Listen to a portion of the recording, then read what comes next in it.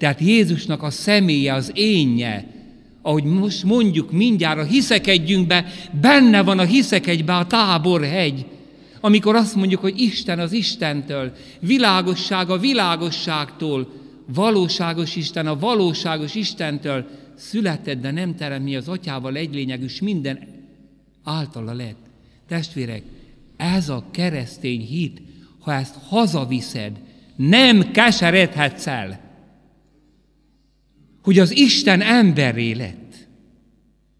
Fölfoghatatlan.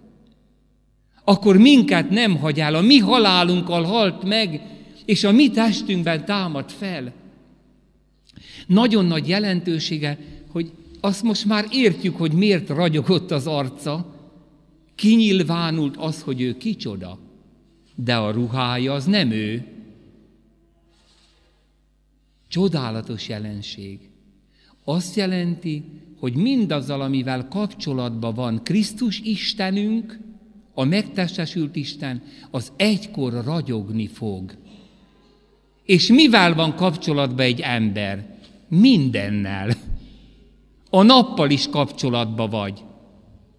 A legtávolabb csillag, a legtávolabb levő csillaggal is. Jézus ruhájának ragyogás azt jelenti, hogy egyszer a világ mindenség örökké valósul. Mi nem azt hiszük, hogy lesz, hogy a lelkecskénk él a halál után, ez kevés, nem ez a mi hitünk. Várom a holtak föltámadását, az eljövendő örök életet. Nem az az utolsó föltá- fölvonás, hogy Jézus a mennybe megy, hanem mit mond János? Láttam a mennyet alászállni. És Isten velük lesz mindörökké. Testvérek, tudjuk a mi hitünket?